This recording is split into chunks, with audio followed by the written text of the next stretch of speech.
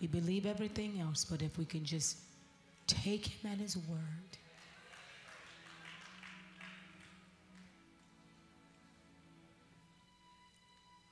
If you would get your Bibles and go with me to the book of Jeremiah, the 33rd chapter. We honor the Lord for Pastor Gray and his wife, Kathy, and to the church today. When the enemy knows that he is about to be exposed,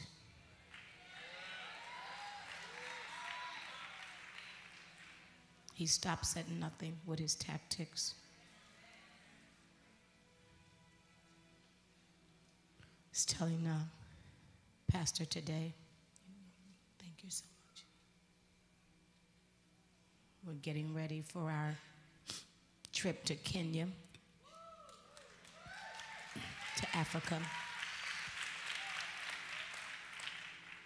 And um, taking our shots, and everybody else is taking their shots and doing fine, no lumps and bumps. And I got aches and breakouts and everything. But I'm determined this morning to be here. So if you don't feel me in my full strength, just hear what the Lord is saying today. Amen. But many times the Lord already knows. Many times when we're given instructions to do something, and the Holy Spirit tells us to do something, He already knows in the future what our obstacles are going to be. So He doesn't tell you to do things because the passageway is easy. He tells you to do it to see if you're going to be obedient to what He says, regardless to what you feel or see. I know for a fact that I am in the divine will of God by standing here. And I, this is the place that the Lord chooses that I take my last breath. You have to understand that the most important thing in your life is that you come to a place in your life that you can actually say that if I were to die today, I die in the will of the Lord. In the will of the Lord. Amen.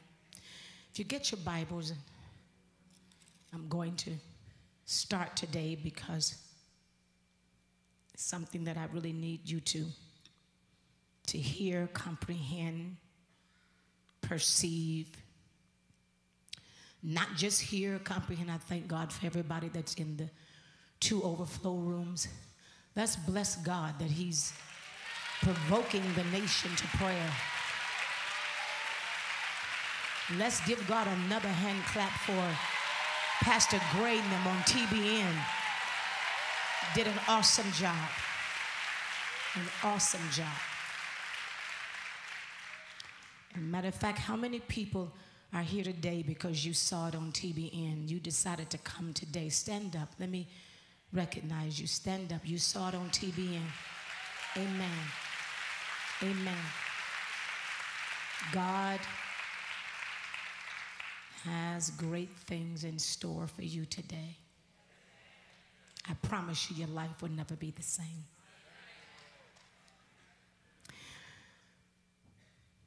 When the word of the Lord tells us, or he compels us to come to prayer, and I don't know about you, but everything around me is intensifying to the next level. And it is because I'd like to bring something to your attention that some of you probably have not yet recognized or your focus have not been on. That the intensity of what is happening that the world may consider or people may consider by watching on television a phenomenon that you would have this many people in the building at five o'clock in the morning and really excited about being here at five o'clock in the morning, not just here and sleepy.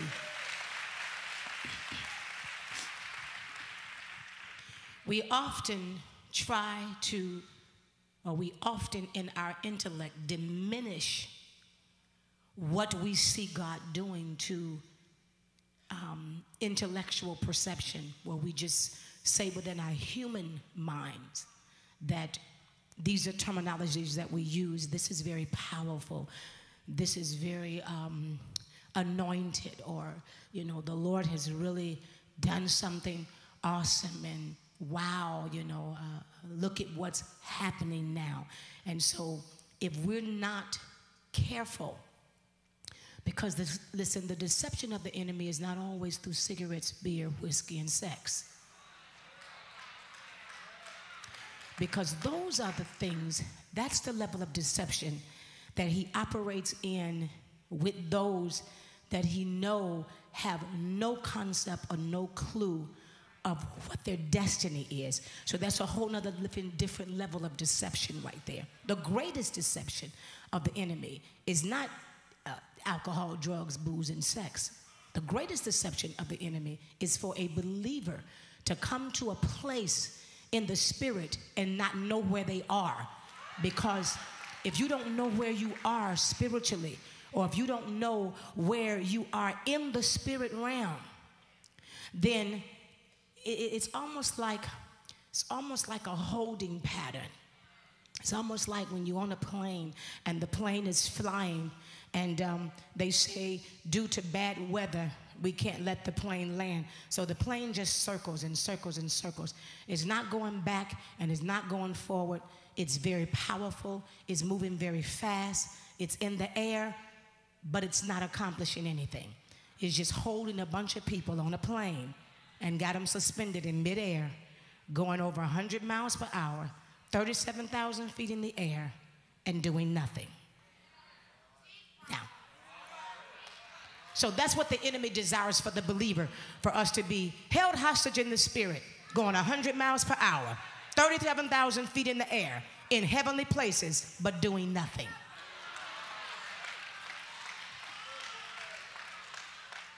And so we watch this. So we're not, so we're not doing anything because we're operating under a spirit of seduction. We've been, we've been, we've been seduced by Satan's spirituality. And there is a spirituality of God and there's a spirituality of Satan. And let me help you explain. Spirituality of God says that I am spiritual enough that I am operating in complete obedience in my lifestyle to the Lord. Satanic, satanic spirituality is when I can come and shout and praise God and all of the above. But I have no victory in no area of my life, and I never intend to do anything that God tells me to do, especially if it causes me any discomfort or causes me.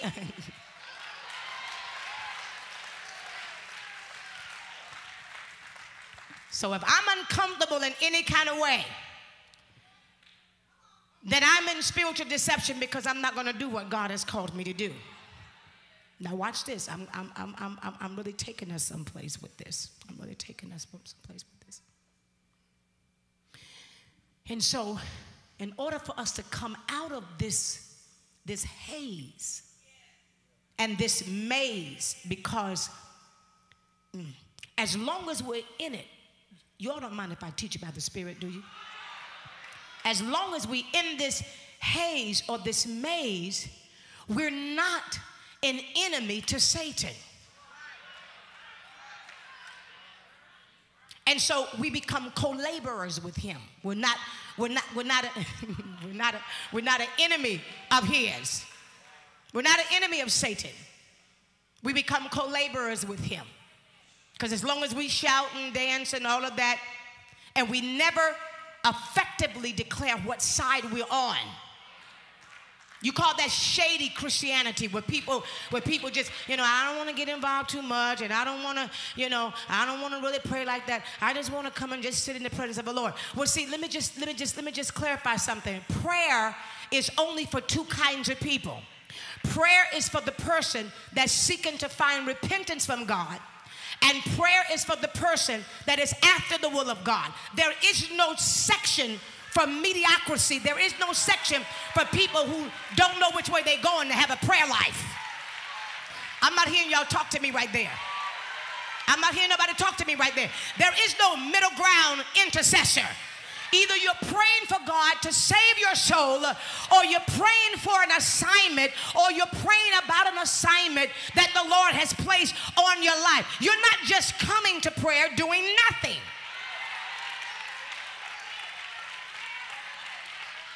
So let me help the situation out. If you're not in God's perfect will, the Bible says without faith it is impossible to please God. So if you're not a person who is walking in God, in the faith of God, what do I mean by the faith of God? I'm not talking about faith for a house and a car and a bike and a and a a house. I'm talking about faith to believe, faith to believe that God, that the God in me has the ability to help me to maintain my status in Him.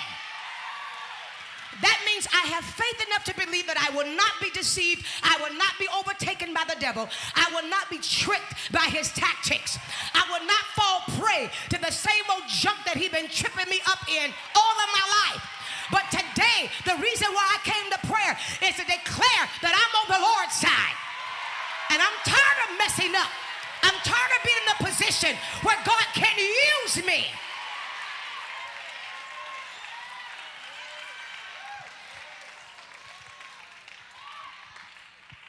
What do I mean by I'm tired of being in a position that God can't use me? Because he says in his word, he says in his word, he says in his word, and this is this is this is this is very very powerful. He gives us the foundation of where he wants to take us. And he says in his word, not the person that just prays. He said, but the effectual fervent prayers not of the person that just want to come to prayer, of a righteous man. I'm not hearing y'all say nothing. So then, there is a prerequisite to effective praying. Touch your neighbor and say, This is for the righteous.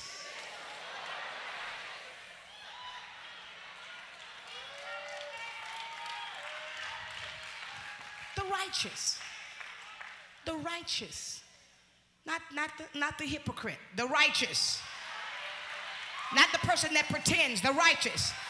The person that stays saved 24 hours a day. The person that carries a weapon of conviction in their heart that they can't even tell a little white lie without the Holy Spirit convicting them. The real righteous the person that it brought to a place in their life where they understand that I cannot the unclean things of the world. I must keep my hands clean because I am a weapon.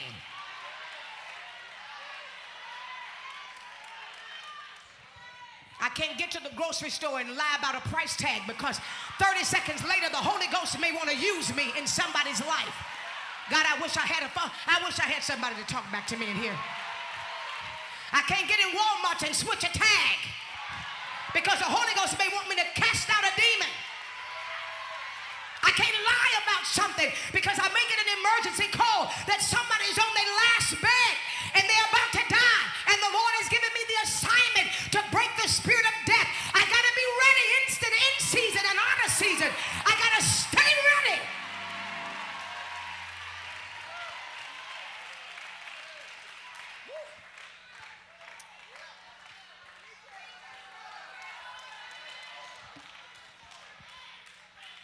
Got to be ready at all times, in all places.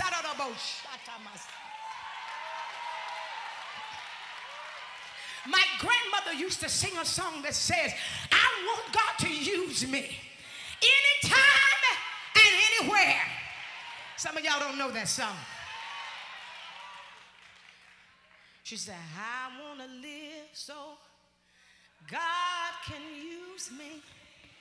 Anytime, Lord, anywhere.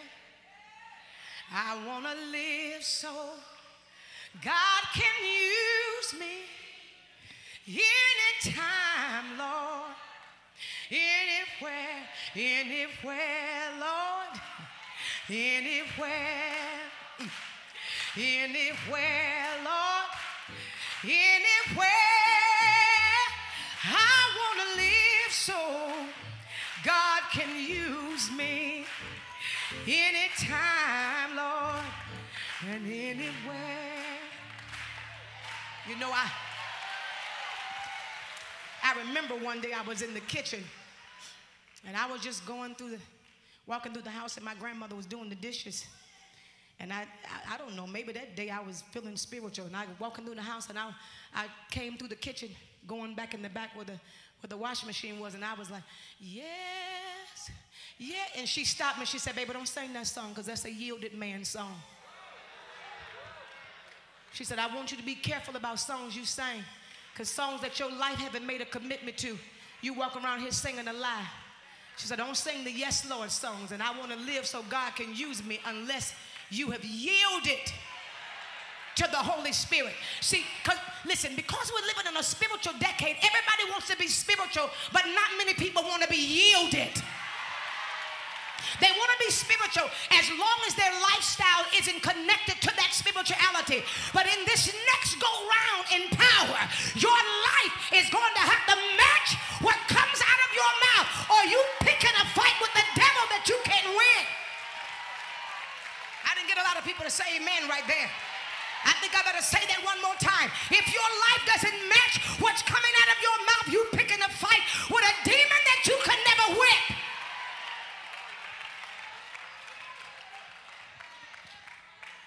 Since I know that the weapons of our warfare in the book of Ephesians, the sixth chapter, we have to establish a foundation of what our rights are and what's about to happen for us. So, the book of Jeremiah, the 33rd chapter, and the first verse, I want you to go there because I want to read this. I want to get to this today. In the Amplified Bible, it says, Moreover, the word of the Lord came to Jeremiah the second time while he was still shut up in the court of the guard, saying, Somebody say, Shut up in the court of the guard. Thus saith the Lord who made the earth, the Lord who formed it to establish it. The Lord is his name. This is the part that grabs me every time. I lived with this scripture for about maybe five and a half years. And I five and a half, and I five a.m. prayer because it, it, it reminds me this scripture becomes my perception.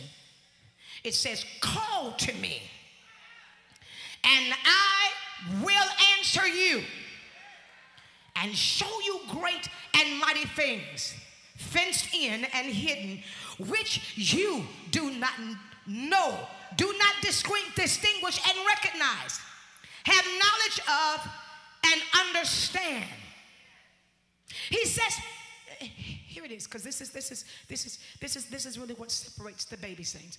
It says, "Call upon me, and I will answer you, and I will show you great and mighty things which are hidden, which you do not see, which, which, which, which is not easily distinguished, which you do not understand. We think, watch this, we think that that just means call up on the Lord and he'll show me, you know, how to, you know, I, I, I just been believing God for this and believing God for that. And, you know, the Lord told me if I call up on him, he'll answer me. No, no, no. This is the next level of prayer. The next level of prayer is call up on me because now, my spirit, this is what the Holy Spirit is saying. He's saying this now, my spirit have come to a place in the body of Christ where now I am ready not just to reveal who I am, but I'm ready to reveal the mysteries of the kingdom of darkness. Okay, I'm not hearing nobody say nothing.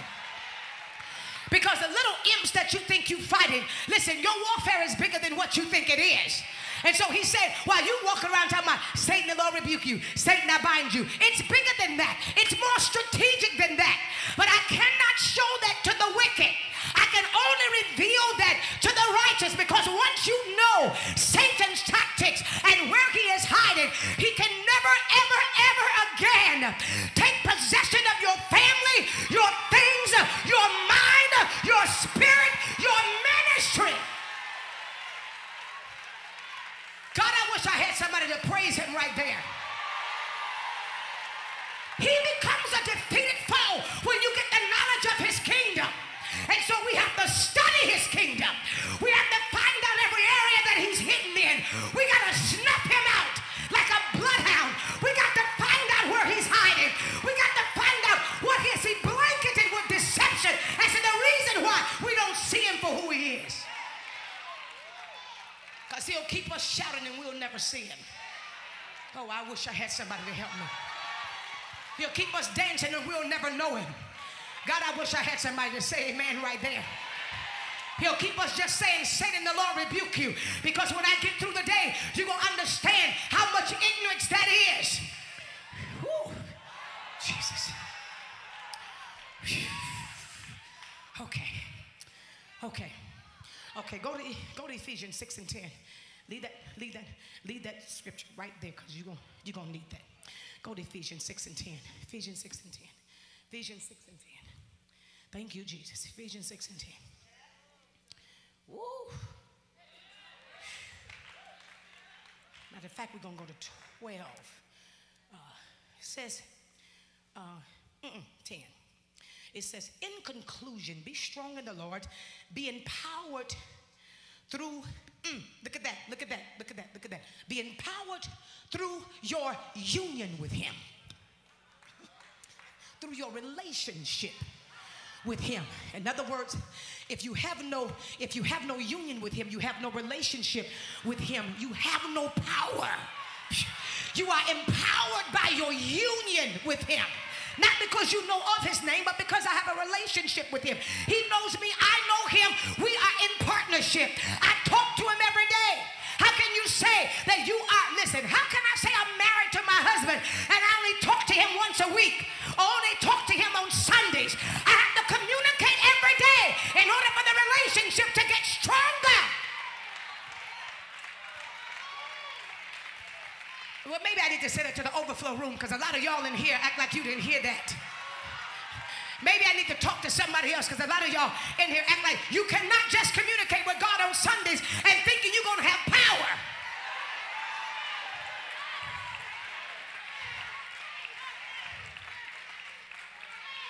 Because not only do you have to know what, what his heart is, you have to know what his desires are.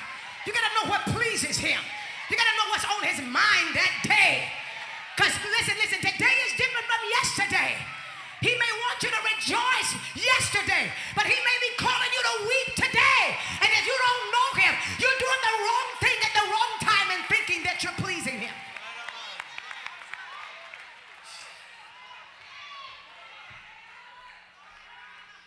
Do you see spiritual deception? Because see, the devil can have us to come in here for prayer and start, oh, we just glorify. And in the spirit realm, the Holy Spirit is weeping and travailing. But we miss him because we don't know him. Watch this. Watch this. So then he says, I'm empowered by my relationship with him. Just like I'll, I'll give you, I'll give you a perfect example. I'll give you a perfect example. When I go places, just like now, just like when I come here. Now, Catherine, Catherine Hunt, you know, she she she she's been she's been with me in prayer for a while. That's that's the young lady that did prayer last week when, when I didn't make it. Mm-hmm. But see, I remember when she when she first started doing prayer with me, some four, five, six years ago. You know, she came. Catherine has always been kind of shy, kind of reserved, and da da da da da. But see, she has a relationship with me, and so and so every Tuesday at 5 a.m. she's right there. You know, and, and for years I never gave her the mic to do no more than make the announcement. So she was just the announcement girl. Are you are, are you hearing what I'm saying? Are y'all hearing what I'm saying? And, and never has it been a time like this that I've been out of town and then the Lord would do something like what He's doing here, and I couldn't make the flight. And the minute I couldn't make the flight, I didn't fret. I got on the phone and said, You got it down in you. I said, You ain't got to be scared. I said, You done got birthed out in prayer. You know why? Because of the years of our relationship, she was able to get this mic and operate in the same thing that I operate in because she knows the Spirit the Spirit. God, I'm not hearing nobody praise God in here. If you want to operate like Christ, you got to get to know him. He can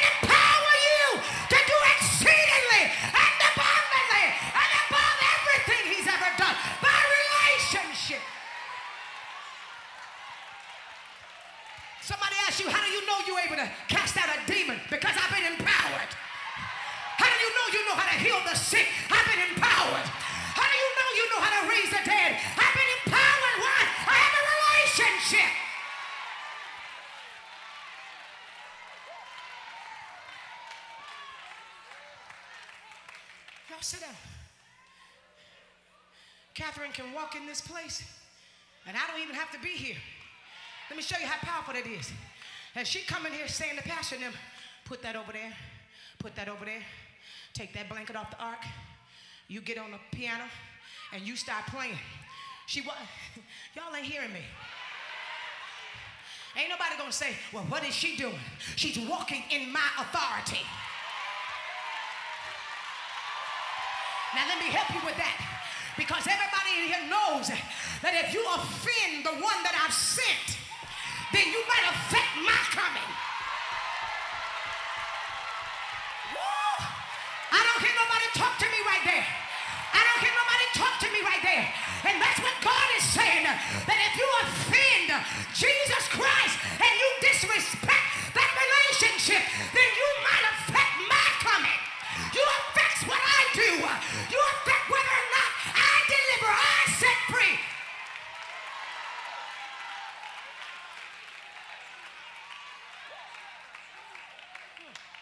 Sit down, sit down, sit down, sit down, sit down, sit down, sit down.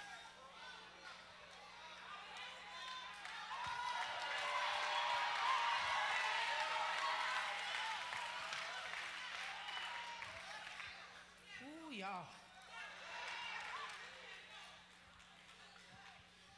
Because, because, because, watch this. Be empowered through your union with Him. Listen, listen. Draw strength from Him. Parenthesis says, that strength which His boundless might provides.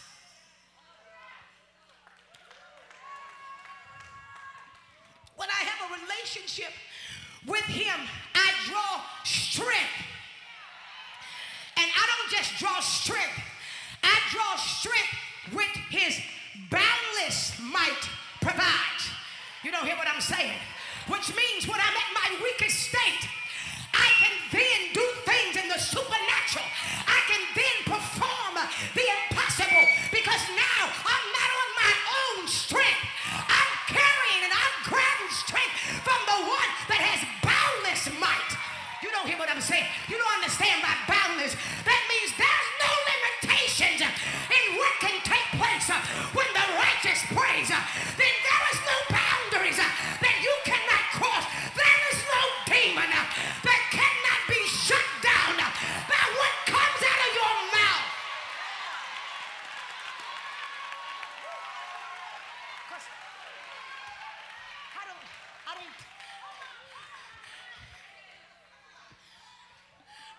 just help you with this.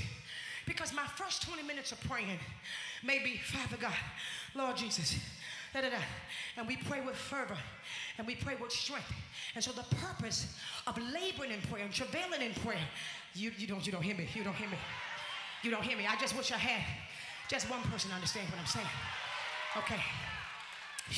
The purpose of laboring in prayer and staying in prayer and staying in it and travailing in it, listen, it's for this purpose. This is gonna blow your mind.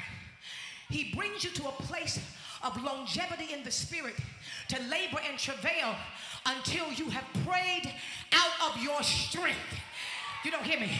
Until you get to a point that you have prayed out of your strength, then you cannot tap the realm of the supernatural.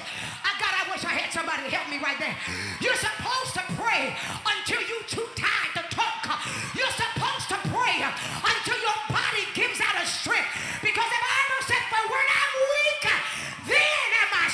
I in my weakness.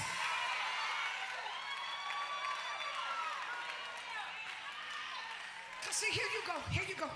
Listen, listen, listen, sit down, sit down, sit down. Here you go, here you go. The Bible said we pray according to knowledge. Watch this. And then we pray in the spirit. And so knowledge says, Oh, Father God, in the name of Jesus, help Bookie. He is really on them drugs. Lord, you do it, Jesus. Father, you help him. And you pray until you pray out of yourself. When you pray out of yourself, watch this, and Bookie done stole from you and made you mad, and you get to the point where you say, I can't take it no more. Because the minute your flesh get to the point that it can't take it no more, then the Bible said the Spirit of the Lord will step in and make intercession for you. And when the Spirit steps in, he'll take you to another realm and you will no longer pray for Bookie, but you'll come after the Spirit that is the root of the drug activity. I'm not hearing y'all talk back to me. It's time for us to stop praying for symptoms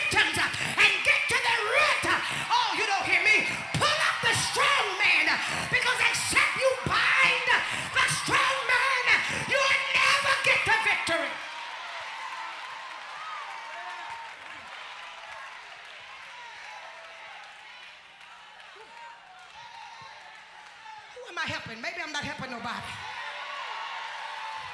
Oh, come on. I said, who am I helping?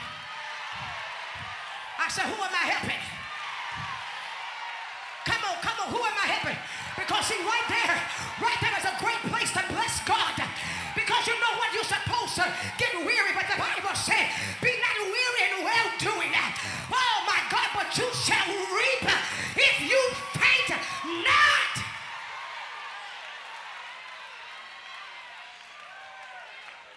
Sit down, sit down, sit down, sit down, sit down. Sit down. Sit down. Can you touch three people everywhere? Everywhere around you. Say, don't faint, don't faint now. Don't faint. No, y'all ain't saying it like you mean it. Come on. You ain't saying it like you mean it. Say, don't faint. Come on. Tell them you're only supposed to get to the point of weary. Don't faint. Don't faint. Don't faint. Don't faint.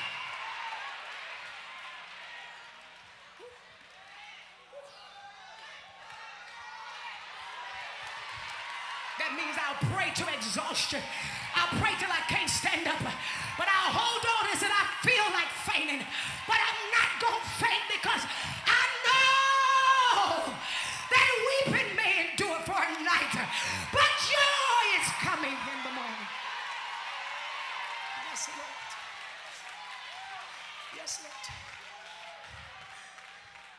And so watch this. Let me get to my point today. Because this ain't my point. He says, he says, then the 11th verse, put on the whole armor, the armor of a heavy armed soldier, which God supplies. The armor of a heavy armed soldier. Some of y'all fighting with spears. A heavy armed soldier. A heavy armed soldier. Let me tell you something. There's a difference. When I was going, growing up in high school, ninth grade, I went to a public school, and then my mother switched me to a private school. But uh, ninth grade, they had a group in high school called ROTC. Y'all know the ROTC? Okay, the ROTC people, they walk around with their uniforms on looking like they in the army. They still got to go to biology class. They just look like they in the army.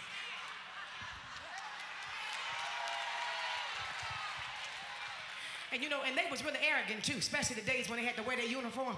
They be walking around the cafeteria. They get to the cafeteria and, you know, the ROTC, you got to let them in line first because they being prepped for the United States Army. So they in the ROTC. And so they look like they in the army and they walk like they in the army and they have a special class and, and you know, and they, they, they go to ROTC training sessions and all of that, you know. But when I look at them, you in my math class, you ain't going nowhere yet. You you in my biology class, and if you flunk this test, you and your uniform ain't gonna graduate, so it's all right. And see, and see, that's my attitude about the ROTC, because they not heavily armed. You ain't packing nothing. All you packing is a book bag on your back. You don't hear me.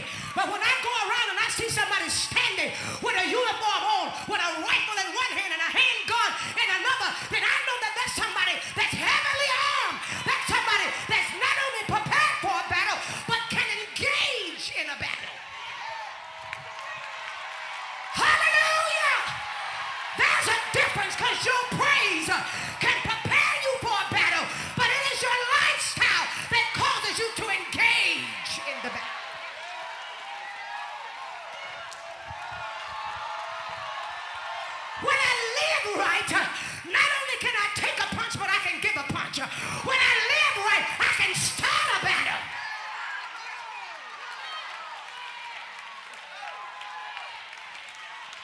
Y'all sit down.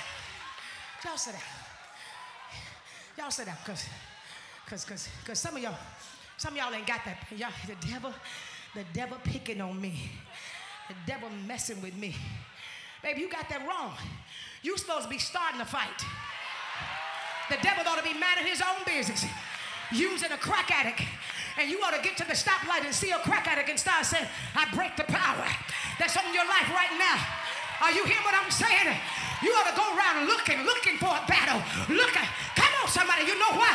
Because you understand that the battle is not mine, it's God's. And He causes me to do battle and warfare.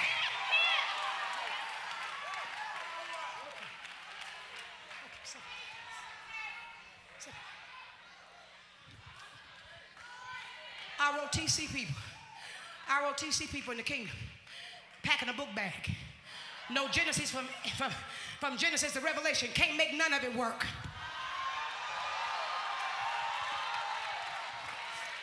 I'm gonna tell you why you can't, why you can't make none of it work because the ROTC people, they was in my gym class. And I went to gym with some of the girls, ROTC, and I was already always very heavily in the sports. Baby, I can outrun them, outjump them. I be looking at them like, if you is gonna protect us in the United States Army, I'm already scared.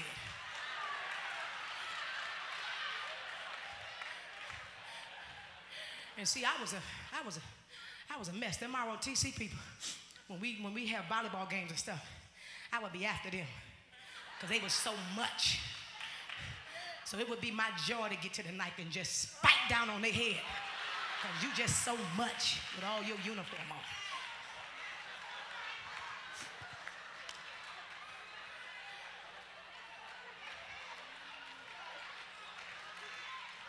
The Lord makes us, He makes us physically strong because He knows what our journey is going to be.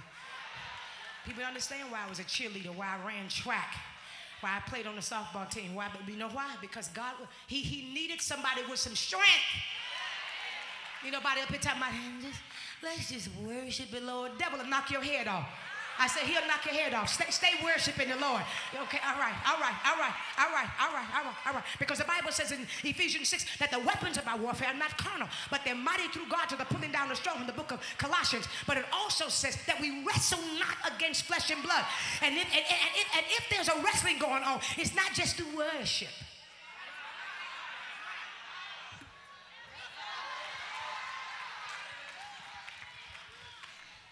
There's no need to put on the whole armor to worship. So apparently, he ain't talking about just worship.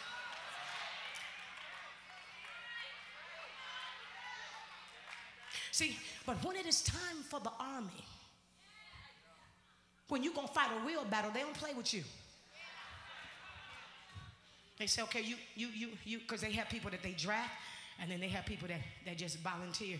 They just want to join the army. And so, and so this is what they do. This is what they do. This poor people, this poor people now, they ain't got no money for no computer science uh, education. But honey, in the army, I can get it for free. You know, I ain't got no money to be no, to be no engineer. But, but in the army, I can get it for free. So this is what they do. They sign up with, to the army with computer science in their mind. But not knowing they going to a boot camp where they're going to get the snot beat out of them. And that's how we are. We sign up for the house and we sign up for the car and we sign up for the message. I don't think y'all hear me. I don't think. No, no, no, no. We signed up for the gifts and the talents. I want God to use me, not knowing you about to get the snot beat out you. Not knowing that you're going to have to go through something physical in order to obtain your goal. I'm not hearing nobody say that. Not knowing that there is a boot camp in the spirit that's prepared for you. You're going to have computer science degree and you ain't paid for it.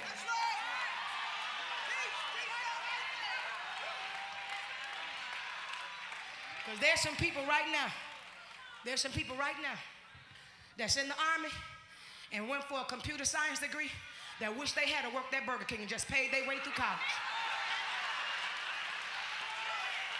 What did I, what kind of mess did I get myself into?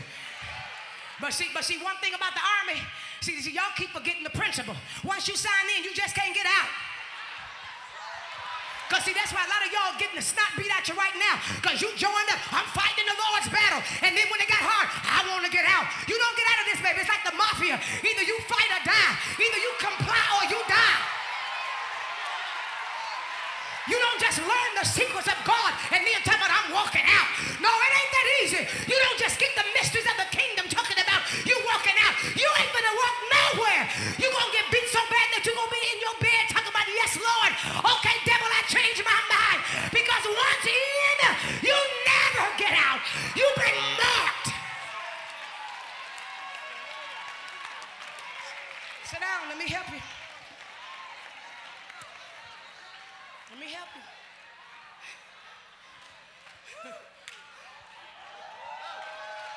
Because let me tell you something about the devil, he don't forget. Y'all didn't hear what I just said.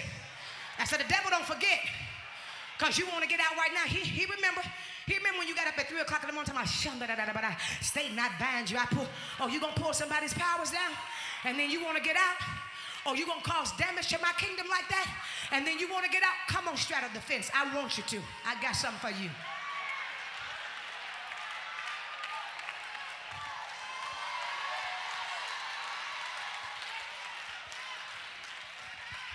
Let me help you with something. If you have ever spoken tongues, you are in for life. You might as well forget it. If you have ever in your Christian life said, Satan, I, you might as well forget it. You already done signed in. You done already signed in. It ain't no getting out. It ain't no getting out. You're not going nowhere.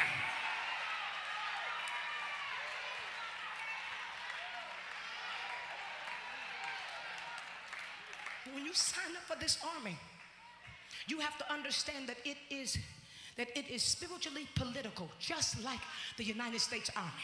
You don't walk in here as a buck private calling shots and picking up the red phone from the president.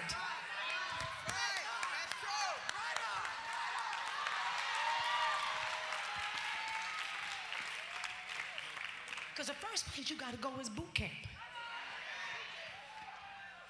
Got to test your physical strength. We got to find out where you at. Do you fall out every time you go to a trial? Get out here and run 10 miles, and when you get to the end, climb the wall, and then sleep in the water over in a trench all night long. Come on, somebody, hear y'all complaining. And you don't know what I'm going through, and you don't know how hard it is, and I just really need you to pray for me. They don't offer cookies and blankets in the trenches in the army. Some days you lay out there all day for two and three days and you don't even eat. I don't hear nobody talking to me right there. I don't know what's wrong with the body of Christ. Listen, ain't no comfort when you get out on the field. I, oh, come on here, y'all. Ain't nobody gonna bring you a blanket because you cold. Ain't nobody gonna bring you a steak because you hungry. You're gonna lay there and dream about a steak, but you gotta keep your weapon in your hand because you're in a real battle. You may not ever get a house or a car. You may not ever get the amenities that comes along with the puff puff Christianity, but you better learn how keep your weapon in your hand because you better learn that you're fighting a real devil. And in order for you to understand power, you got to be engaged with a real enemy.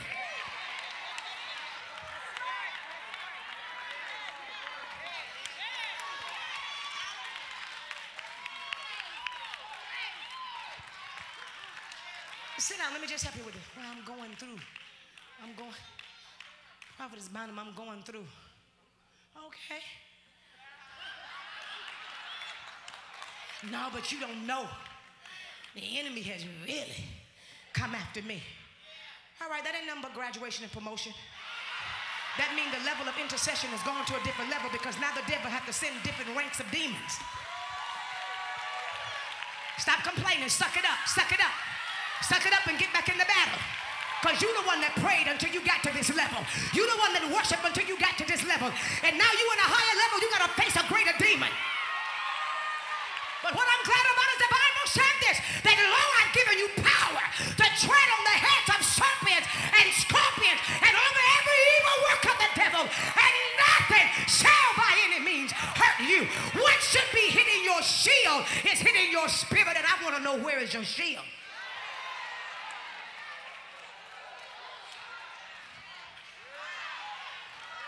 Sit down, y'all. Sit down. That's what I tell my people sometimes. That offended me. I said, that should have hit your shield.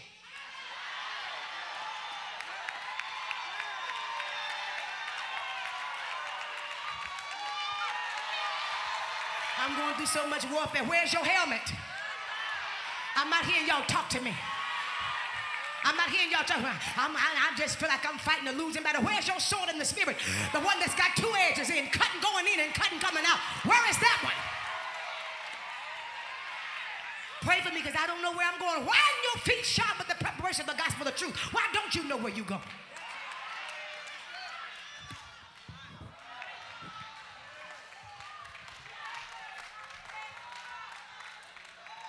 I got five minutes. Let me tell you why. Let me tell you why. Let me tell you why. Let me tell you why you don't know where you're going.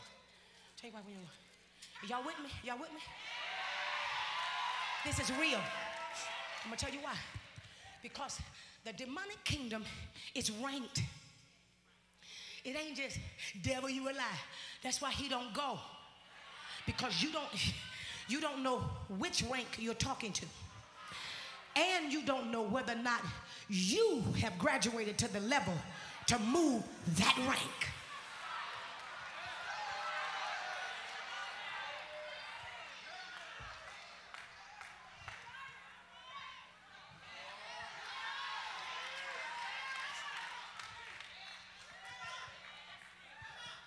We, ca- we can't even get you to stop fornicating. You ain't finna move no principality. We can't even get you to stop cussing. You ain't finna demand no spiritual wickedness in high place. Let me just help you with that. You can't even bind up a cuss devil. How you go? How you gonna chase a principality out of the life of somebody that's been rooted there for 30 some years?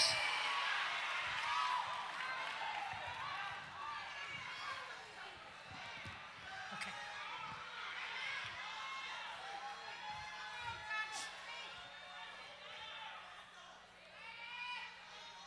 Is everybody in the overflow listening to me? Y'all back there?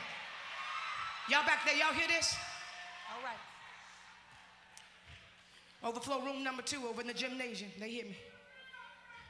That's right, baby. He says here, now watch this. Watch this. Watch this. Watch this. Captain, you got a, who got a King James version?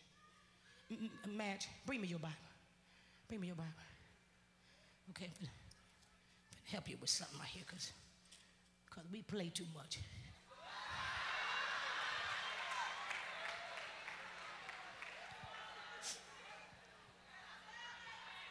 says here, for we wrestle, Ephesians 6 and 10, 12. For we wrestle not against flesh and blood, but against principalities. Okay, let me just, let me just read this. Against powers, against the rulers of the darkness of this world, against spiritual wickedness in high places. Okay. Now, we act like all of that was written because it just sounds good. No. What the Lord is trying to do, He's trying to reveal to us the mysteries of the kingdoms of darkness and rank their positions. Because it ain't nothing worse than seeing somebody on the playground fight and just close their eyes and just.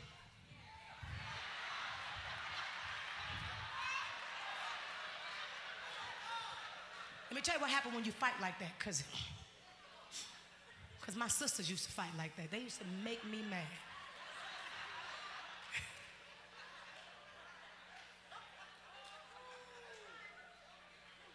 When you fight like that, you hit yourself as many times as you hit the enemy.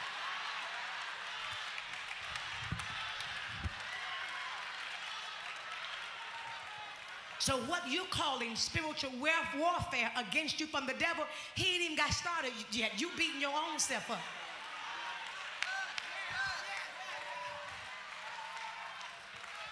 That's just like somebody with a gun and don't aim it and got the gun down here talking about, I'm gonna kill you, devil. And you get so mad that the gun go off and you shoot your own self in the foot.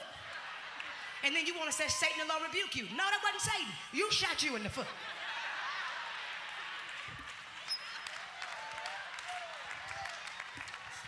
Boy, half of the stuff we blame the devil for, he ain't even got started yet. Because a lot of that stuff is stuff we reaping. Oh, Shataya Messiah. We ain't even got into spiritual warfare yet. We just reaping what we sowed. We lied on somebody and now somebody lying on us. We cheated somebody, and now somebody is cheating us. We hurt somebody, now somebody hurting us. And we want to get spiritual and forget all the damage we done when we wasn't spiritual. When the Bible lets us know that there's a such thing as forgiveness, but there's another thing called God's governmental judgment, you still got to pay a penalty for what you did. The Bible says you're going to have to give an account for every deed that's done in your flesh. He forgave you, but you still got to reap what you sow.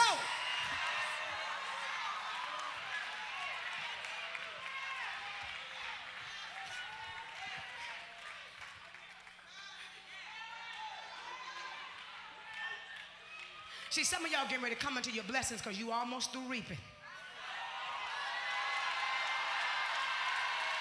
It's almost over.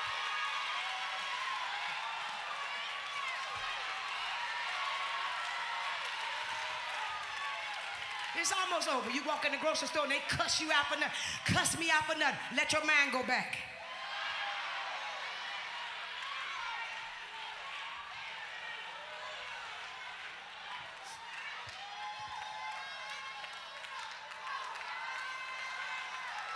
You ain't in spiritual warfare yet.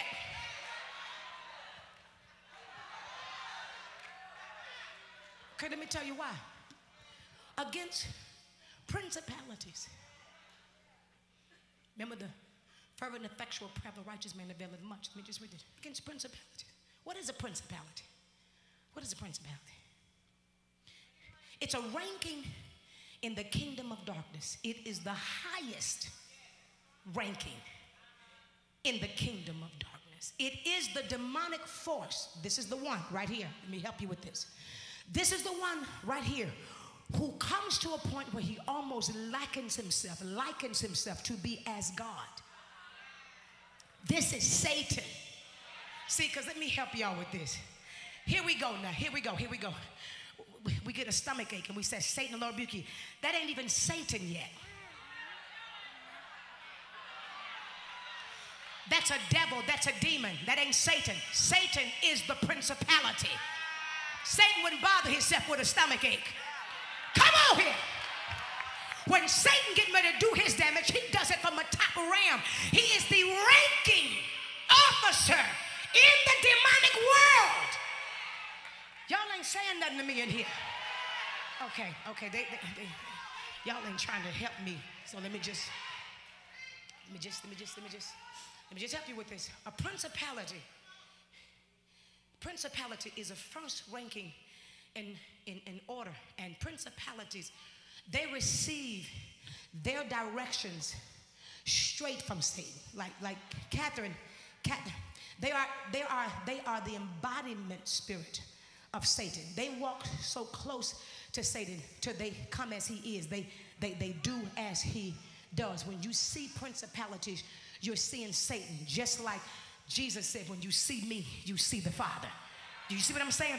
The principality have tried to take the place and the position of Christ. So he has perverted himself to be in the same standing. So when you see a principality, it's a thing that moves in the earth realm as if it's God. Okay? Y'all ain't saying nothing to me. Okay, then where does principality rank? They rank in national government and in laws. That's why they can take prayer out of the school and it's just a done deal and ain't nobody can say nothing about it.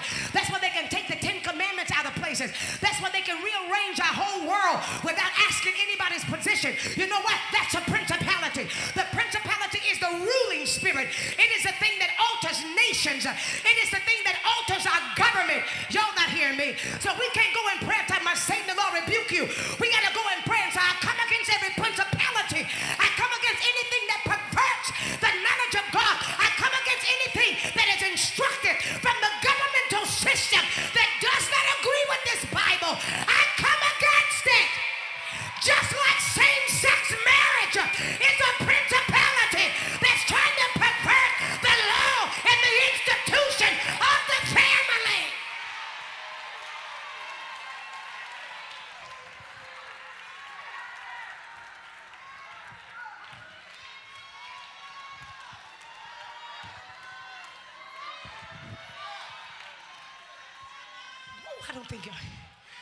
down, sit down. We're going somewhere with this.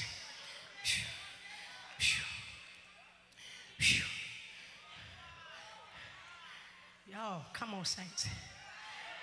Come on, saints. Come on, saints. children having two daddies, children having two mommies, and now it's okay. Principality at work because his job is to off face what God has established. I don't hear y'all talking to me. That's why you ain't got time to talk about people. You got too much damage to do in prayer. Oh, I don't hear y'all. I don't hear y'all talk to me. That's when you know that you are praying effectively. When you start coming against every governmental decision that have altered the course of this word. God says that a fetus is life. National law says you can kill a fetus. Call it an abortion because they call it pro choice. I'm not hearing y'all talk to me. See, y'all got that dumb look now because this ain't about your light bill. You ain't coming to pray about your gas bill and your light bill. And because you want a new car, a new house, when God called you to prayer, He's causing you to alter legislation. He's causing you to change the governmental system. And we don't have to do a march on Washington. We can march right here at 5 a.m. prayer and we can attack everything that's in the spirit realm that is a principality and we can bring it down. The Bible said He's given us the thing, every imagination that exalts itself against the knowledge of God.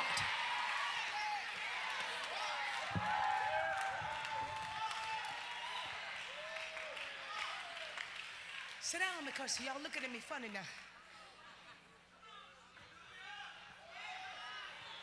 Where's my church?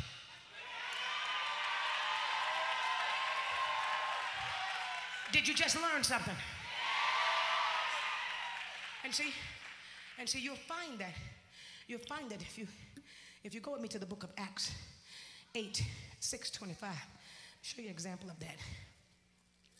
The book of Acts 8, 25. Book of Acts. You'll find an example of that. Acts 8, 25. 8, 6, 25 says here that um and great crowds of people with one accord listened to and heeded what was said by Philip as they heard him and watched the miracles and wonders which he kept performing from time to time. For foul spirits came out of many who were possessed by them, screaming and shouting with a loud voice. And many who were suffering from palsy or were crippled were restored to health. And there was a great rejoicing in the city. Somebody said, Great rejoicing. Somebody said, The 5 a.m. prayer. But there was a man named Simon who had formerly practiced magic arts in the city to utter amazement of the Samaritan nation, claiming that he himself was an extraordinary and distinguished person. They all paid earnest attention to him from the least to the greatest, saying, This man is that ex- exhibition of the power of God, which is called great intent.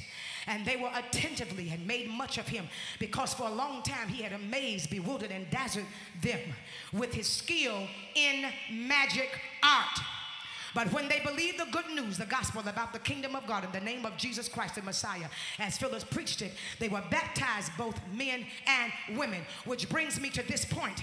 We are never to get excited because a person works miracles. Go to Revelations 16 and 13. Revelation 16 and 13. It says in Revelation 16 and 13, and I saw three lawsome spirits like frogs leaping from the mouth of the dragon and from the mouth of the beast and from the mouth of the false prophet. For really, they for really, they are the spirits of demons that perform signs, wonders, and miracles. Hey, they are the spirits of demons. You don't hear me. You don't hear me. They are the spirits of demons that perform signs and wonders and miracles.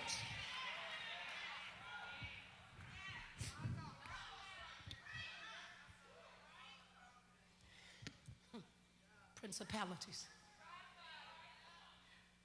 So it says we wrestle not against flesh and blood, but against principalities, against powers. What does powers mean? Powers. The Greek word for powers is exousia. E X A U S I A. This is delegated authority. This is orders from principalities that affect and infect structure, that affect and infect the five statutes of our nation marriage, family, government, education, and the church.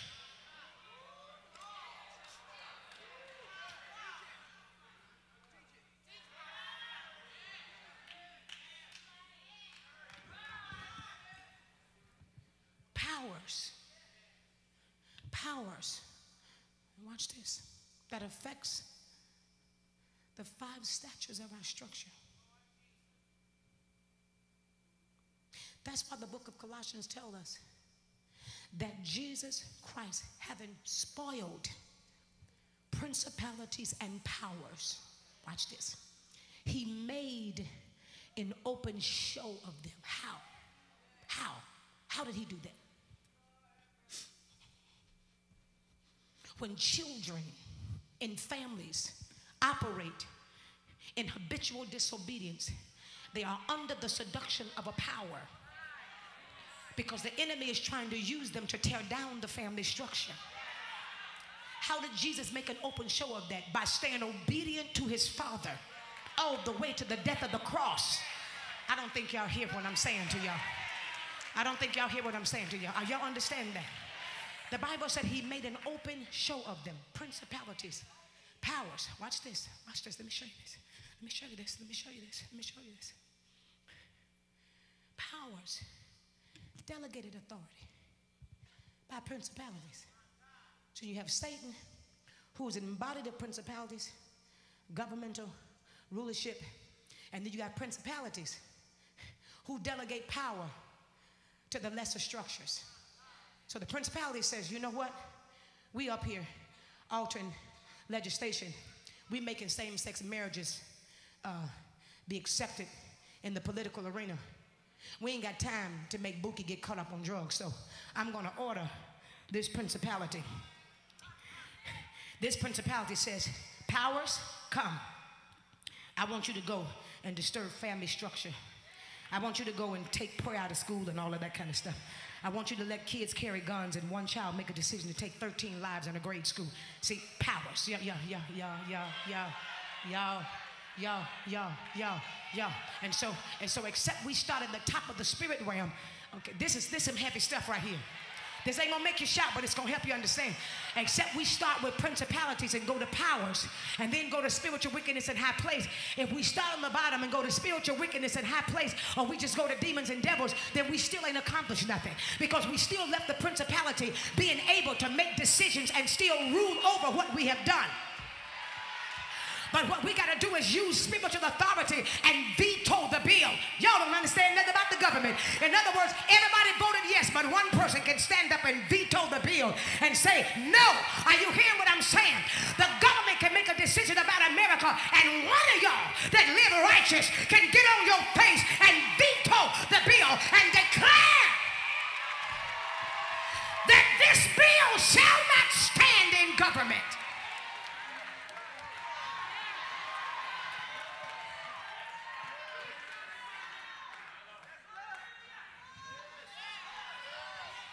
I don't have no, I really don't have nobody saying that here. Okay, let me just help you with this. When we walk in righteousness, we become presidents. Okay, that's all I can tell you. Okay, let me help you. When you've been called the 5 a.m. prayer, you become the president of your family. You like the president of the United States? And so the devil says, Boogie gonna be on drugs, Gwen gonna be a prostitute, she prostituting, he on drugs, the mama drinking, the daddy running the streets, and one person that's the president can say, and I vote against it. You shall preach, you shall prophesy, mama gonna lay hands, and daddy gonna come out the street because I'm the president. Come on here, church. Listen, let me tell you something. When you are the president and you know your rights, you can superimpose. Do you know what superimpose means? Superimpose means there is a power that's in existence, but the power that's in you is greater. And if you lay your power on top of the power that exists, you crush out the power that already be. Are you hearing me? That's why the devil don't want us to pray. That's why he don't want the person that's righteous to travail in prayer because he knows if I ever veto, I superimpose, I annihilate, I cancel, I send in reverse everything that he's put in operation.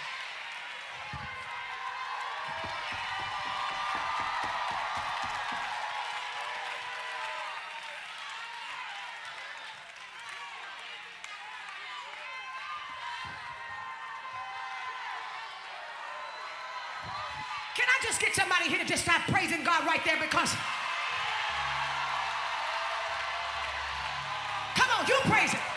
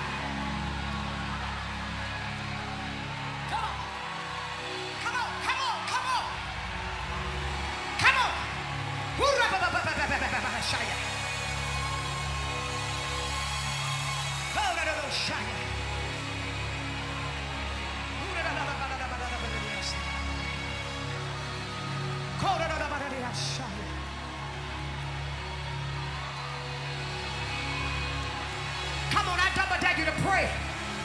I double dare you to start praying for your family now. Because you got a different knowledge. Begin to pull down every principality. Begin to pull down every power. Begin to pull down spiritual wickedness in high place. Begin to reestablish the order. Begin to reestablish the order in your family. Reestablish the order in your life. Begin to decree and declare that you're not the tail, but you're the head. Begin to decree and declare that you annihilate the works of the devil. Begin to decree and declare that you abort his assignment in the name of Jesus. Oh, Rakas.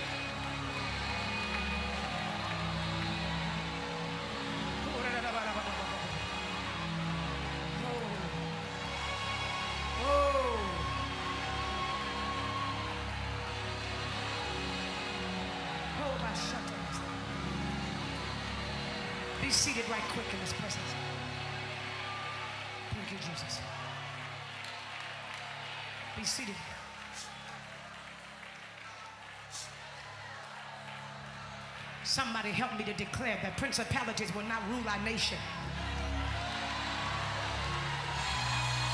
I said, somebody help me declare that principalities will not rule our nation. That even while the government is asleep right now, we send ministering angels into the spirit realm and we change their thought pattern, we change their mind. Come on, saints, we can do it, we can do it, we can do it. We can alter the course of this world. Come on. Whatever you have to do, Holy Spirit. Office that is not in your divine plan. Intercept it, interfere with it, interrupt the devil's assignment. Because today we superimpose. Today we decree and declare. Come on, somebody in this place. No other power is going to rule over our lives but the power of the living God. No other power will rule over our lives but the power of the living God, but the power of the living God, but the power of the living God, the power of the living God, the power of the living God. The power of the living God. Every decision that's made in legislature.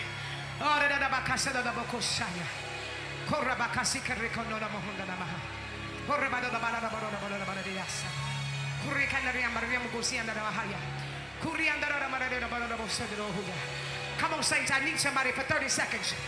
For 30 seconds to pray in the pray in the spirit for our country. Pray in the spirit for the White House. Pray in the spirit for the legislation. Pray in the spirit for Congress.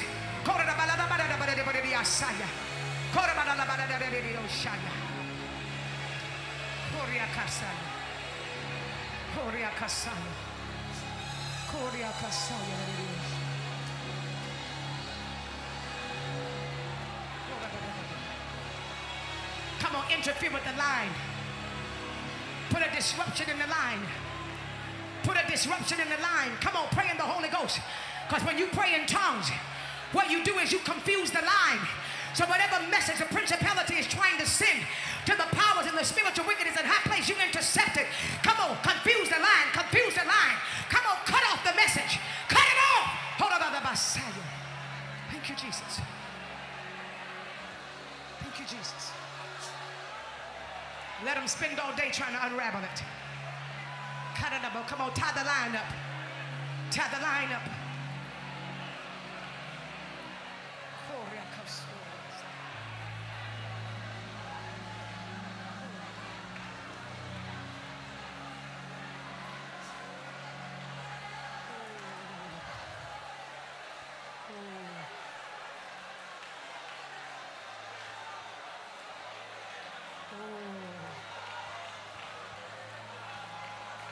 Lord.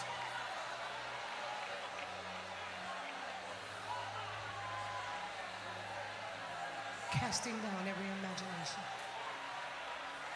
every high thing,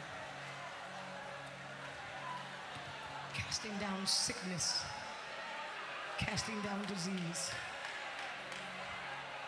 casting down every principality that's come against casting down the spirit of infirmity by the blood of the Lamb, by the wound in your son, Jesus. Satan, I decree and declare, Father God. Decree and declare that you won't take my life. Speak to these things. Speak to this mountain. Speak in your flesh. Sit on the back of your Sit on the back of your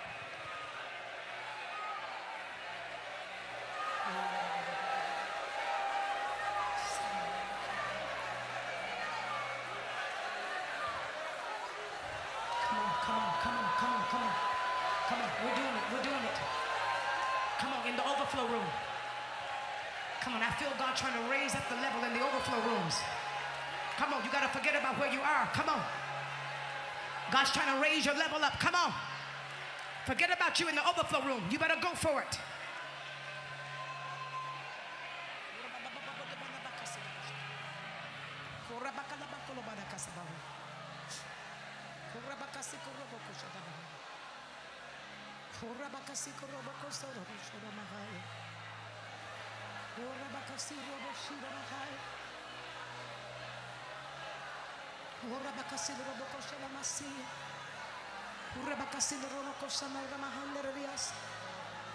Come on, saints. Oh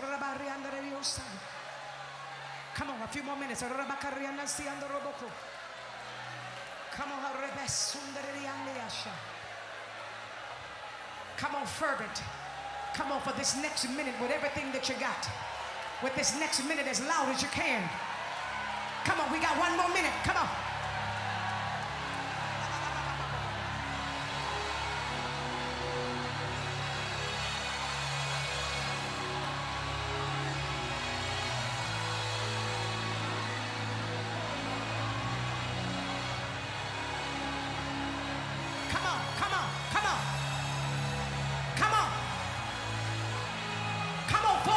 12 seconds.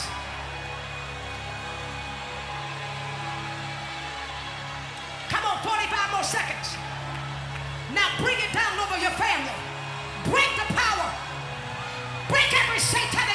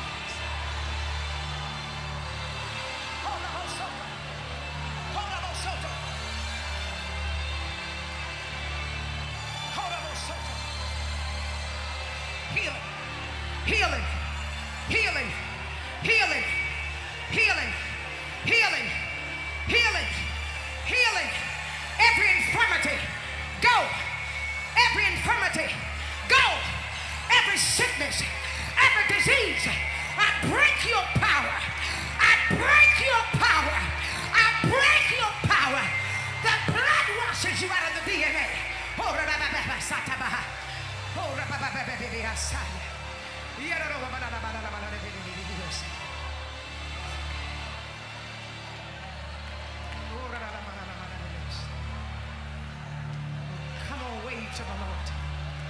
Come away to the Lord and give him a worship.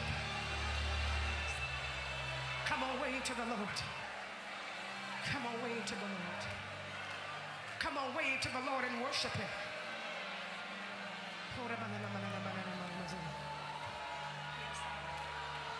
Come on, wave to the Lord and worship him. Worship him. Worship him. Come on, worship him. No one like him. Come on, decree him to be God. Tell him you decree him to be God. Tell him you decree him to be God. Tell him you decree him to be God.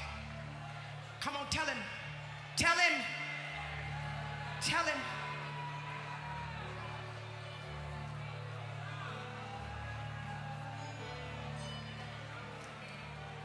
Tell him he's God. Tell him he's God. Tell him he's God. Tell him he's God. Tell him he's God. Tell him he's God. Tell him you trust him with your life. Come on, tell him, tell him. Declare to him his power. Because the Bible said, He that cometh to me must come believing that he is. And that I am a rewarder to them that diligently seek me. So tell me who I am. He asked Peter, he said, Who do men say that I am? for the next 30 seconds, who do you say that he is? Tell him who he is. Tell him he's your waymaker. Tell him he's your burden bearer. Tell him you he's your heart fixer. Tell him he's your mind regulator. Tell him you're the healer for my body. You're the peace for my mind. You're the strength for my soul. Tell him I declare that you are God. Yes, Lord. Yes, Lord.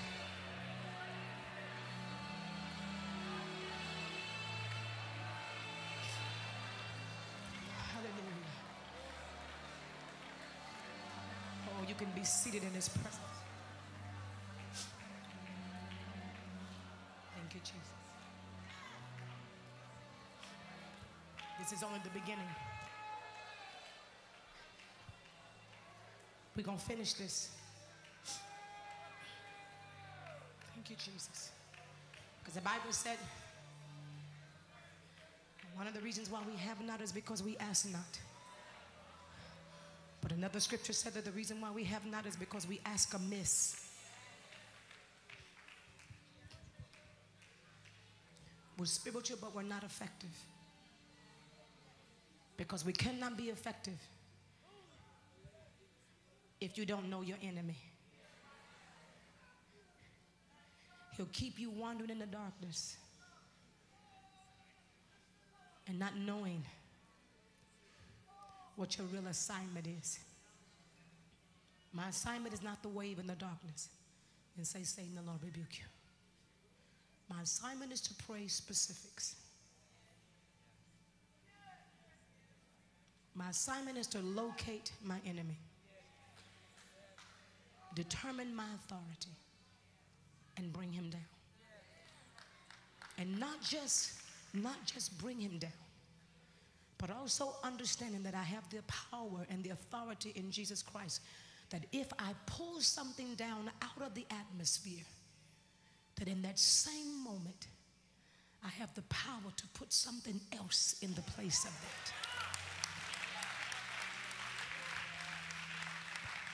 So if I pull down confusion, I can immediately declare peace. The word tells me that he has given me the power to speak those things which be not as though they were. My word tells me that if I decree a thing, what does the word decree mean? That means if I make a decision that this thing shall not be like this anymore, then it has to change.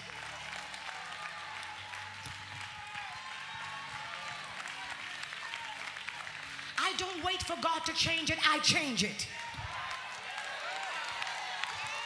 You're not hearing me. I don't hear nobody praising God over here. I don't wait for God to change it, I change it. Because he tells me in the book of Proverbs that life and death is in the power of my tongue, and I can speak it. Hallelujah! Hallelujah! Thank you, Jesus.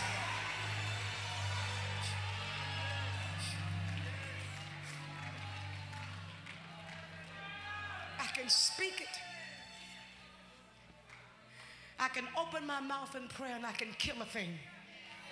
And I can turn around and open my mouth again and I can bring something to life.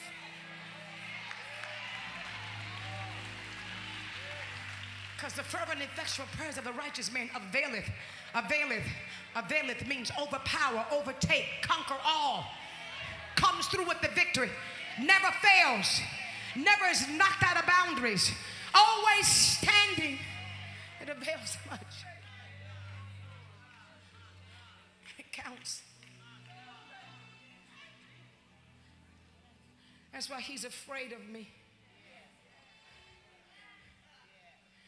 He ain't scared of you if you pray. And on the flip side, he ain't scared of you if you just live right. He only becomes terrified when you put the two together.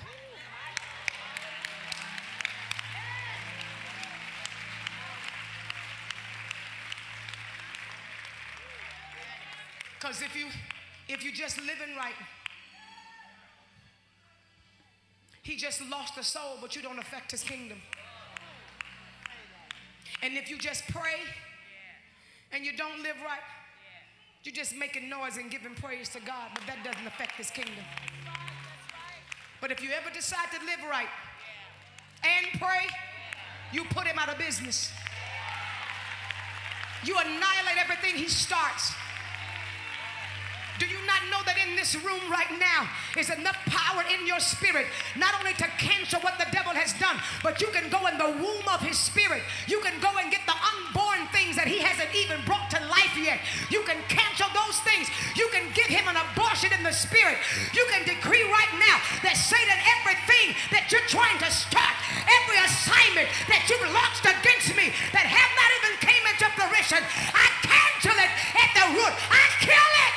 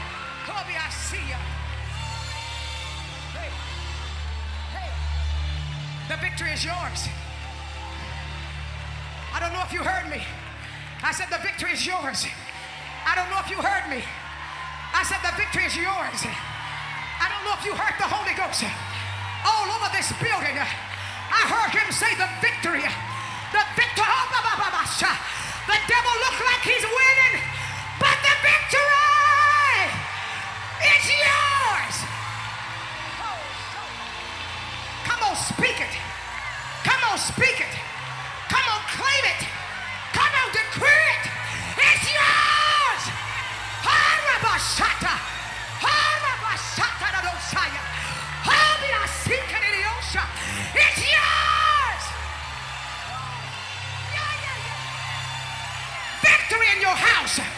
Victory in your mind. Victory on your job. Victory in your family. Victory in your marriage.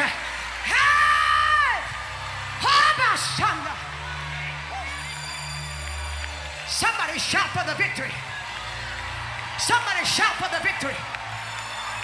Somebody shout for the victory. Somebody shout for the victory. Come on, press in. Press in. Press in. Press into it. It is yours. It's yours. It is yours. I came back here to tell you that it's yours.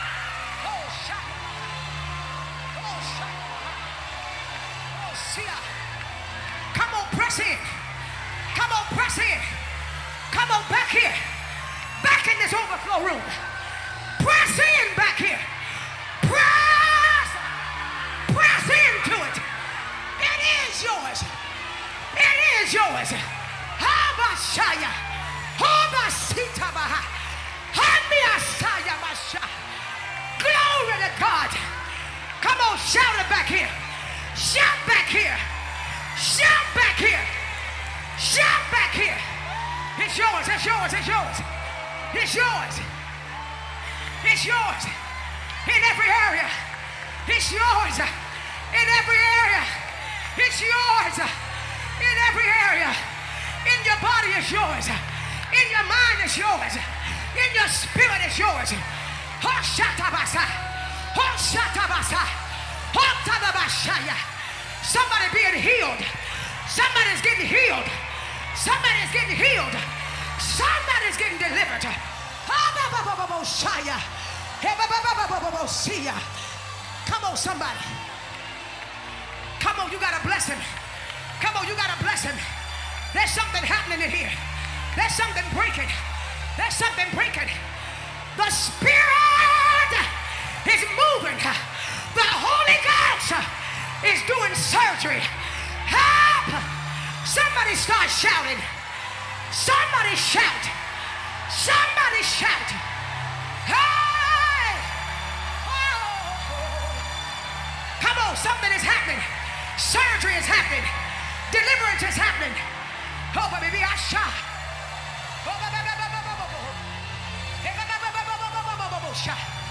Come on, you don't know what's happening, but I'm moving through this building because as I walk these aisles, something is breaking.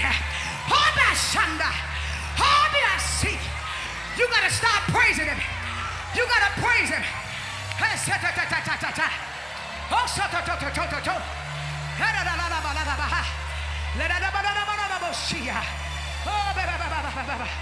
A renewing.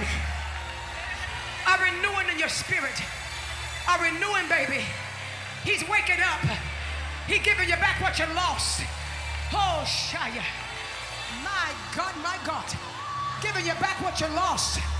Giving you back your love. Giving you back your love for me. Your love for me. I'm giving you back your love for me. I'm taking you back to when you first believed me. I'm refreshing your spirit.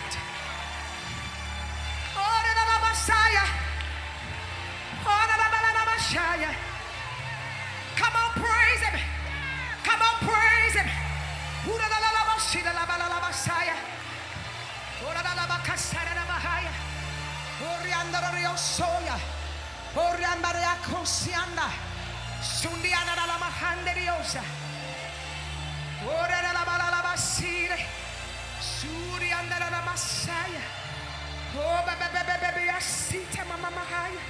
I'm bringing you out. I'm bringing you out. I'm bringing you out. I'm bringing you out. You'll never be the same again.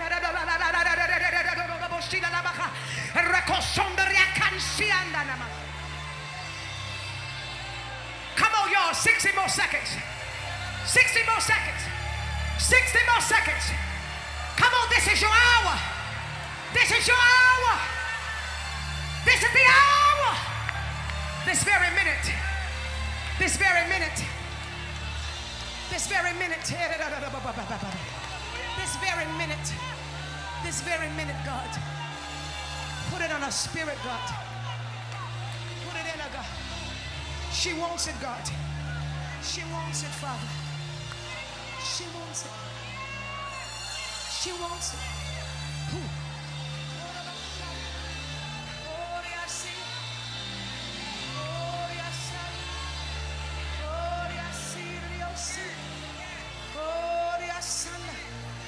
Y'all. I feel a wave in here. I feel a wave in here. Somebody begin to praise him with everything you got. Come on, I feel a wave in here. Come on, come on, come on.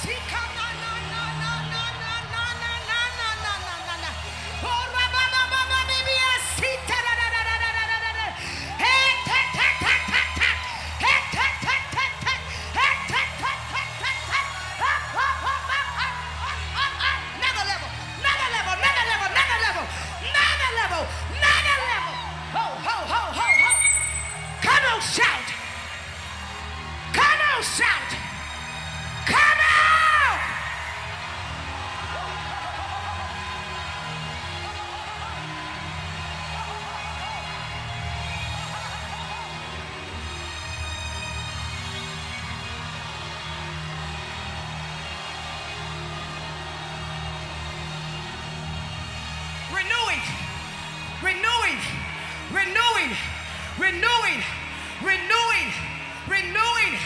Begin to praise Him.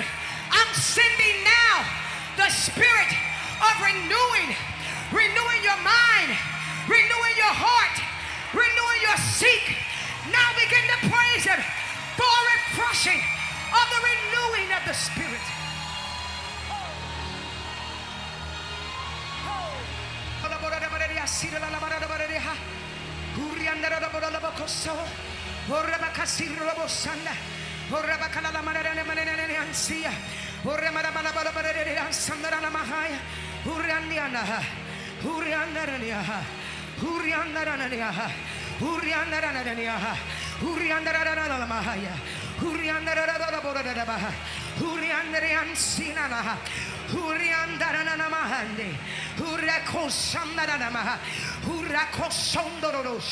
Horabakosakadarabalabahai.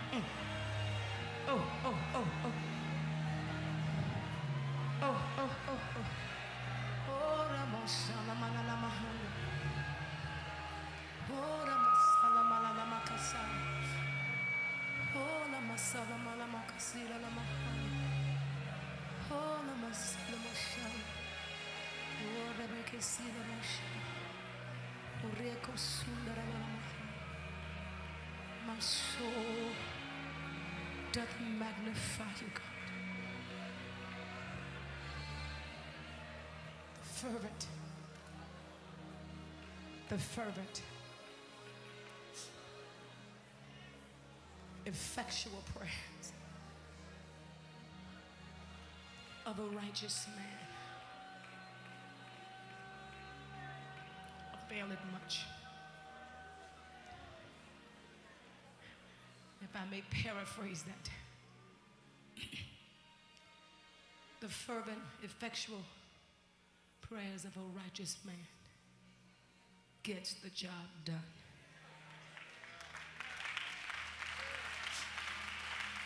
Just turn around and tell three people that the fervent, effectual prayers of a righteous man gets the job done. The fervent, effectual prayers of a righteous man gets the job done.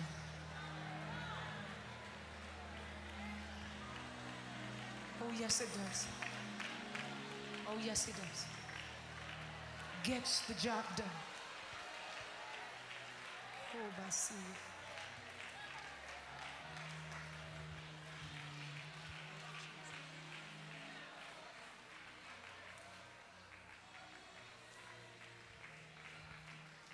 Holiness, holiness is what I've longed for. holiness is what I need.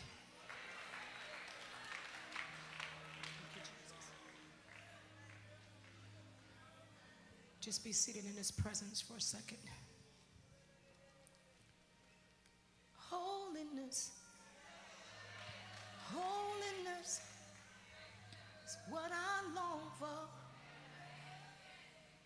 Holiness what I need.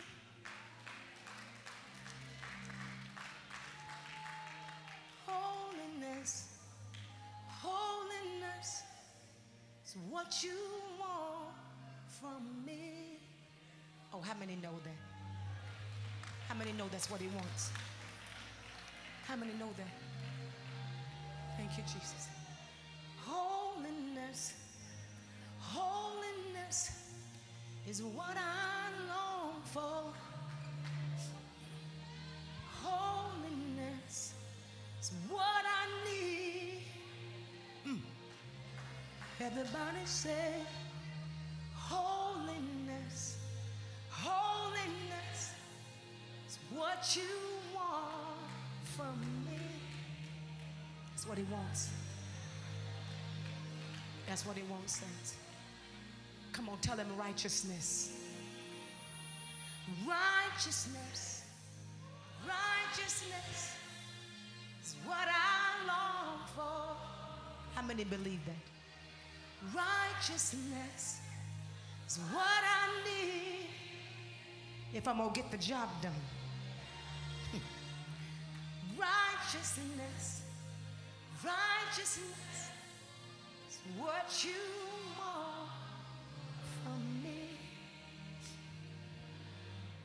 The Lord gave me that scripture as our theme scripture for this prayer. And we told you that we're coming into our our oneness because the Bible said that when the Lord called them all to one place and they got on one accord, the Spirit of the Lord moved because there's power in unity. And I've been telling you that we were, amen, getting ready to have our t shirts. They would be here next week. This is the one that the Lord gave me. A person laying across the chair praying, and the scripture says, The fervent, effectual prayers of a righteous man availeth much. So pray. Every 5 a.m., the Lord calls us to a uniform. You don't have to worry about what you're going to wear to prayer. You wash your same t shirt and put it on because when you get through, members in my last 5 a.m. class sent this to sick people. The virtue, the perspiration from your intercession goes into this t shirt. I want when you wear it in the streets that you remind people not just to pray, but to help them understand you're not going to get anywhere in your prayers unless you're the fervent, effectual, praying, righteous person. That's what avails much. They had to send me several sam- sample screens, and this is the one I chose. Baby, right there in the green t shirt. I'm going to give away all of these samples. Come and get this, sweetheart. You now have the first, the first original. Man. Sweetie, right there in the pink shirt. Come here, baby.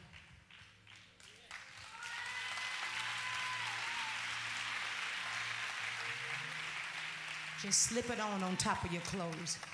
Amen. Come here, baby, right there in the blue blouse. Yes.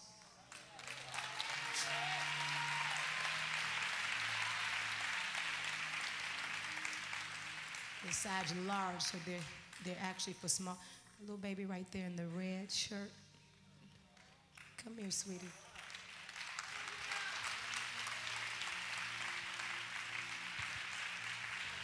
On the back,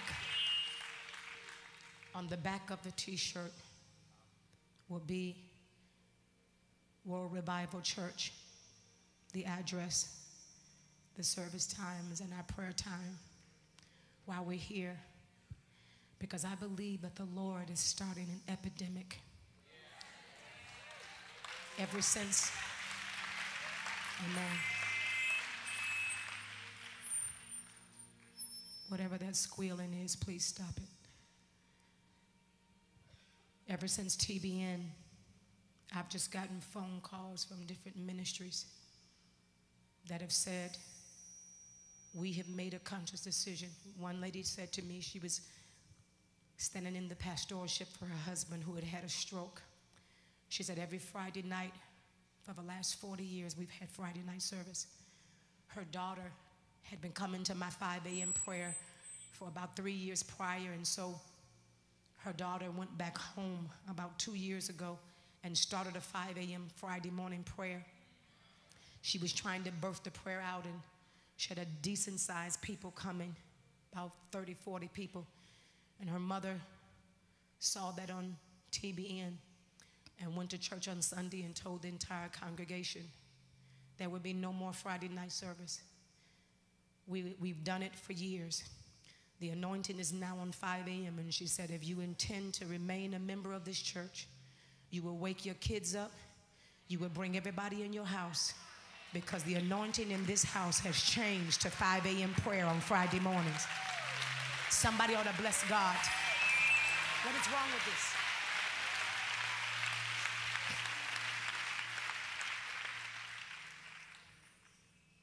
So she's she decreed it to be so, she declared it to be so, and it is.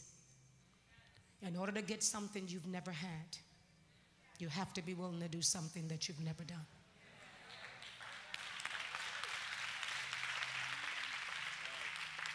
You change your actions, you'll change your results. I don't believe that this is a phenomenon. I believe the Holy Spirit is trying to help us to understand that across this nation, this is about to be a way of life. Why do I say that? Because whether you realize it or not, we're coming up on a 100 year anniversary. 1906 was the birthing of the Azusa Street Revival. 2006 is next year. God is preparing the body for his next wave. Somebody better come on here. You better get ready because it's going to happen.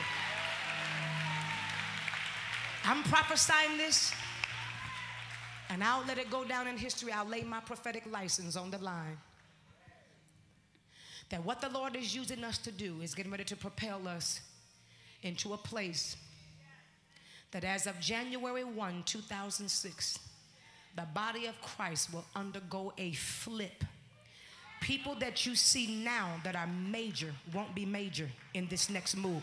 The next move of God is getting ready to be on the common people. It's getting ready to be on people that people don't even know.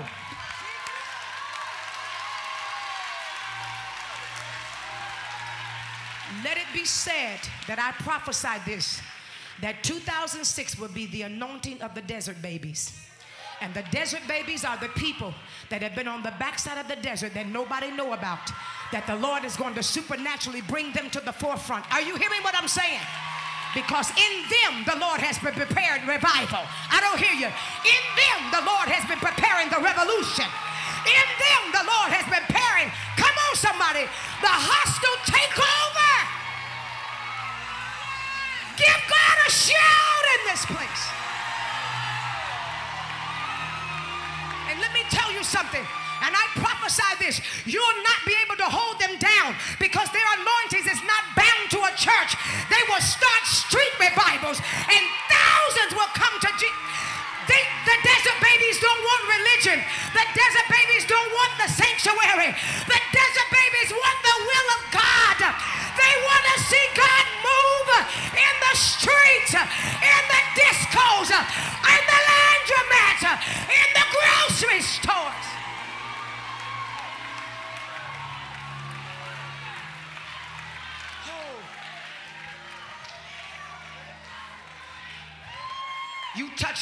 people and tell them 2006 is the year of the desert babies.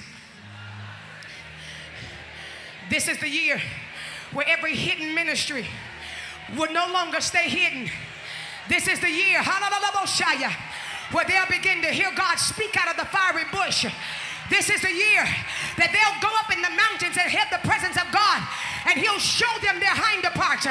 This is the year that dreams and revelations and mysteries shall be unfolded and many in high places will ask them, where did you get that from? Where did you get that revelation? And they'll say, I got it from the desert. Where did you get that anointing? I got it from the desert. Where did you get the power to lay hands? I experience.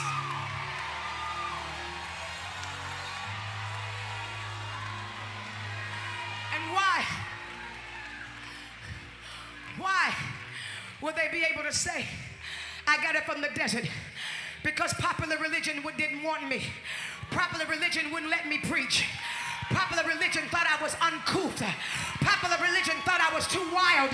Popular religion said I didn't have anything. But God is saying, I'm opening up a door. I'm making a way in the wilderness. Are you hearing me?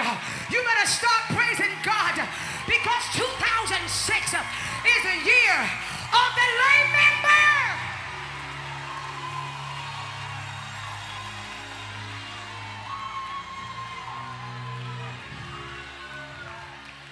Seymour Smiths Wigglesworth.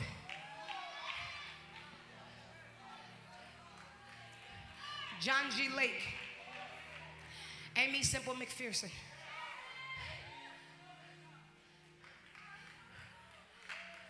C.H. Mason. All of these people were not prominent when God found them. Seymour was a one eyed man who preferred to preach from behind a box because he didn't want people to see him. Smith Wigglesworth was an ordinary man that made up in his mind that I'm going to pray for more hours in a day than I do anything else. He started out with one hour and he ended up giving God 22 hours of prayer until they threw dead babies on the stage. They threw a dead baby on the stage when he went to minister and he kicked the baby with his foot off the stage, and the baby came back to life. I'm telling you, you don't hear what I'm saying. This will be the generation that will do strange things. This will be the generation that won't care what you think about them. This will be the generation that will spend nights in the sanctuary. This will be the generation that will spend days fasting because they understand.